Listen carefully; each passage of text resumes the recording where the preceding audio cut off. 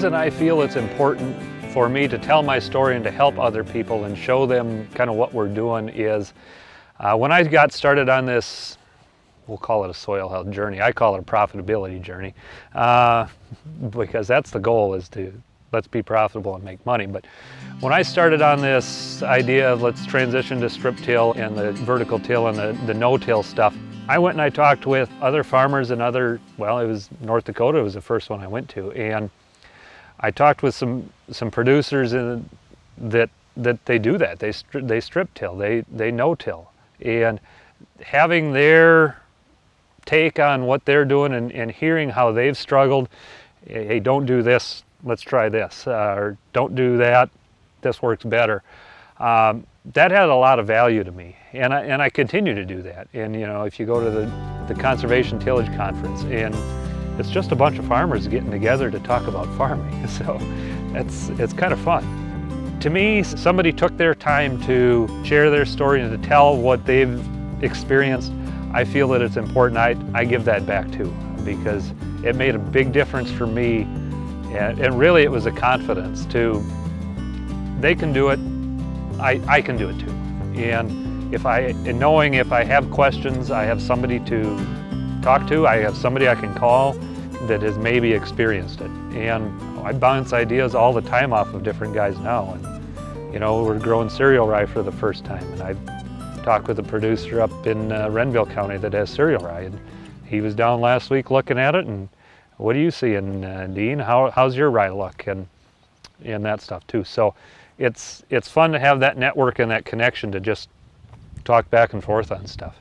And important. I kind of like being the talk of the co-op. And when you're, when you're out there strip tilling and you're out there doing something different and you see the same car drive by a few times, I kind of like that. And it's not because I want the attention on me, it's because what I'm doing is making somebody else think. And it's making them go, I wonder what he's doing. And the, and the wheels are turning and they're going, I wonder how that's going to yield. Or they're saying that's not going to work. That's usually the case is, ah, he's going to have weed problems or it's going to be terrible. And that's fine, but at least they're thinking about what I'm doing, but maybe what they're doing. And why do, do I really need to do this? I've had other farmers call me and or stop me at the co-op. I can just tell them exactly what I'm doing and they're thinking about it. So I don't mind people talking about me. Maybe I've got feathers like a duck. I just let it roll off my back. And you know, you control what you can control. And I know there's a lot of farmers that get worked up about a lot of things, weather especially. I can't control the weather. Why am I going to get so worked up about it? I can control what I can control, and with the conservation tillage, I can help manage the weather a little better by controlling or changing my soil to manage some of that. The Soil Health Coalition to me was appealing because it's a group of like-minded farmers that can help other people. And giving back to me is important because somebody took their time to help me. One of the reasons I'm a member of the Minnesota Soil Health Coalition is being able to talk to other farmers was a very important part for me and what I found with the Soil Health Coalition was is that's exactly what it was designed to be as a group of farmers to talk to other people about the soil health practices that they're doing. So that was appealing to me to have this group of people that enjoy talking about soil health, to enjoy helping others learn about it. If I uh, wasn't going to be a farmer, you know, a teacher was, was something I was looking forward to, and I substitute teach now. So education has always been kind of a passion of mine, and this for me was a way to help educate people and help them learn, hopefully, something about the practices that we do. One of the first things I would tell somebody starting out is to to start smaller and, and maybe pick a field or two to try stuff on and find somebody that's done it before to talk to. You probably don't want to just go off and sell all your equipment and just jump whole hog in. Some do and, and that's great and I know that's one way to make sure you're not going back. We still own all of our conventional tillage equipment. We still have a high horsepower four-wheel drive and a disc ripper and a chisel plow and a field cultivator. I don't know why. We should turn it into cash. But I would recommend pick a field and don't pick your worst field because if you pick the, the worst field and you try strip till or no-till or cover crops and it doesn't work, well, is that the strip till practice or is that the no-till practice or is that just a crappy field to begin with? Start on a good field that has potential to begin with and now you can see, can I add to that or can I maintain that same yield potential with lower inputs? People try it on one field that's poorly drained field or a field with some erodible soil. And yeah, these conservation practices will make it better, but don't have that be your guinea pig.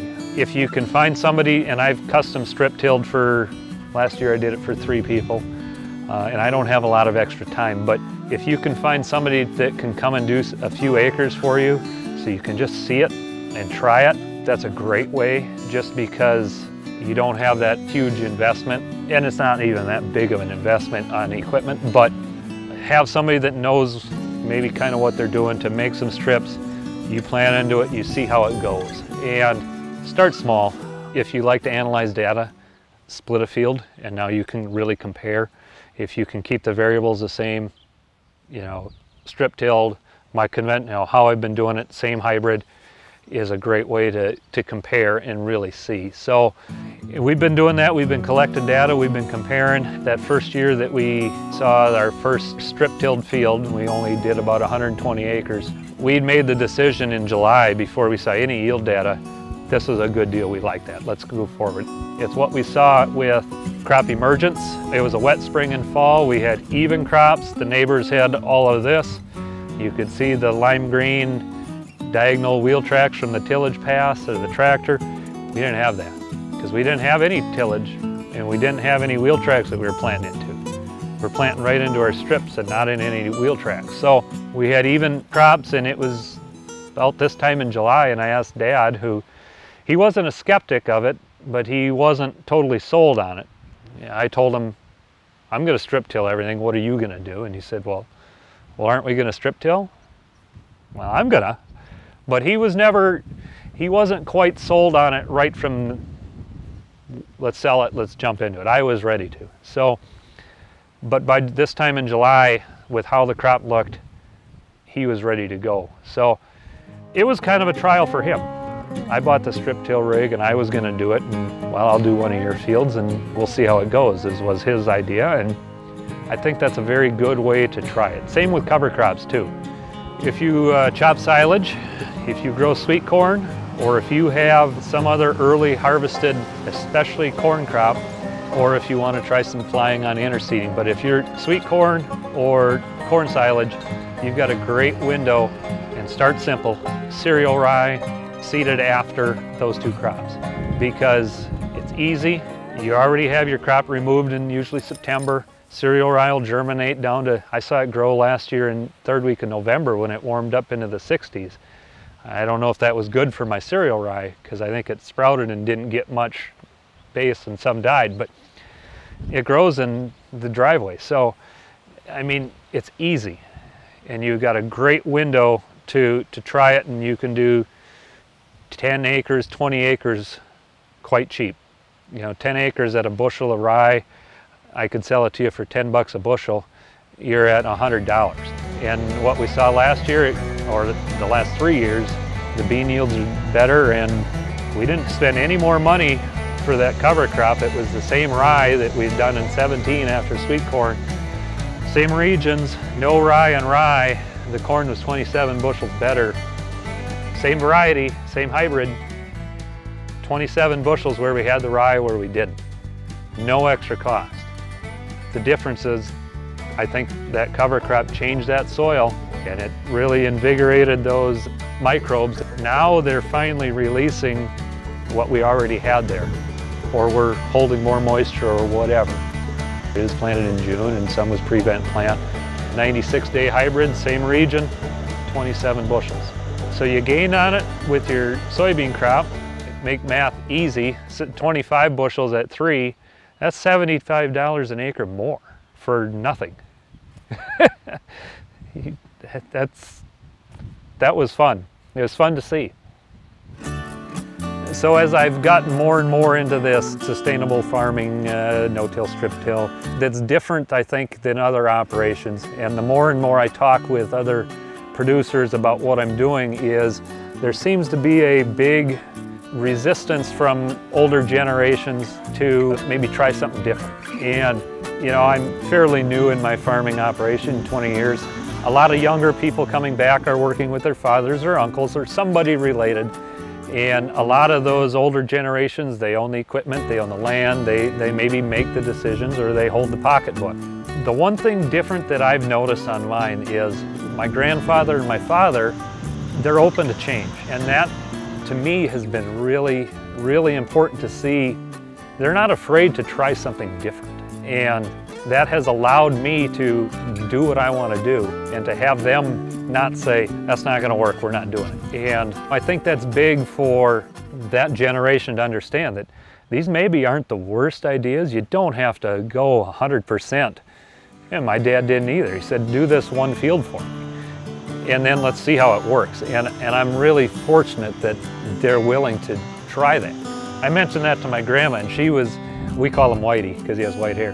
Whitey's, Whitey's open to change and she was kind of surprised, but you think of the change, he's 92. When he was a kid, they were farming with horses and then they got a big tractor, a D17 Allis, you know, it's 40 some horse. And then they got one with a cab. And then when we got a four wheel drive and then it got auto steer.